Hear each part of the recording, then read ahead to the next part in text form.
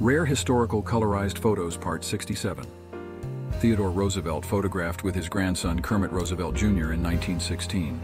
Princess Elizabeth hugs her pet dog at her childhood home in London in 1936. A British soldier shows his helmet, France, in 1916. Walt Disney at work in 1947. Children riding donkeys on the beach at Atlantic City, New Jersey in 1901. Michelin Man mascot in Santa Clara in 1926.